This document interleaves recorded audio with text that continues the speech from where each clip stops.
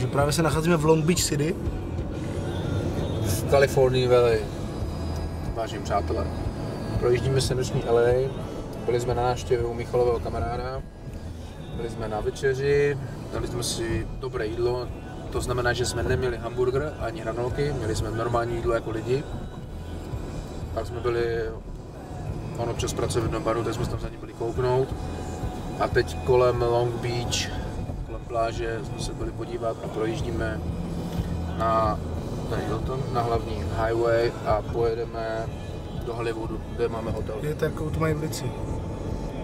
Píchovní. Piko.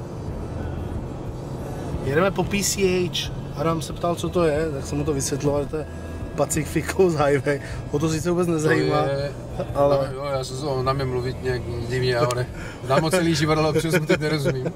A to je něco prostě, jak kdybych e, pro Bulharovi vysvětloval, že v Praze momentálně jedem po magistrále. Tak v podstatě Pacific Coast Highway vede ze sporu od San Diego až v podstatě nahoru na Aljašku. Je to podél pobřeží A- cesta. Tady je zajímavost, že jsme v Long Beach, v Long Beach je překladiště pro lodě a tak.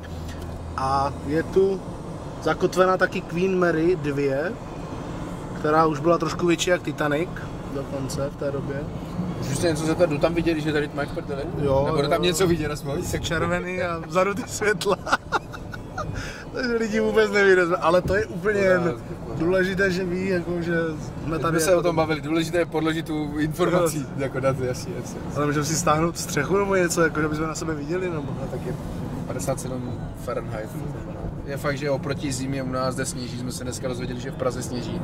Tak tady dneska bylo na trenérky, na tričko bylo vedro a kráva, celý den jsme jezdili se sundanou střechou a Michal se musel namazat eh, kebuli krémem, aby se nespálil. Přesně tak. No je, co vám budu vyprávět, je to tvrdý život DJ, je tohle. Tak se podívejte, tady se překladiště.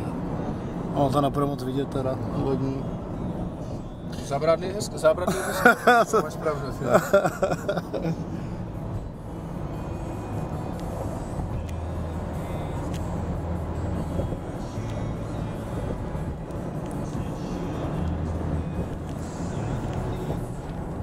Z Long Beach je taky jeden známý rapper Snoop Dogg.